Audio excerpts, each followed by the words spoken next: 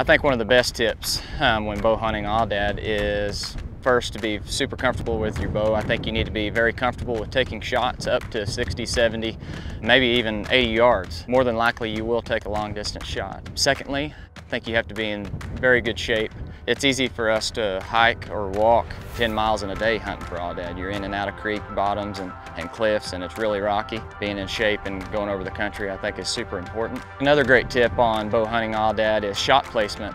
Aoudad are an African exotic. All of their internal organs are pushed forward up in their chest cavity, behind those shoulder blades in order to protect. So the, probably the best shot to take is a quarter and away shot to where maybe you could get behind the shoulder or even behind the rib cage and push forward into those internal organs or even a front facing shot to where you could go straight through the chest. They're not like whitetail and most of your other animals that you do bow hunt where you can just put it behind the shoulder and take those internal organs out. So stay positive and keep hunting.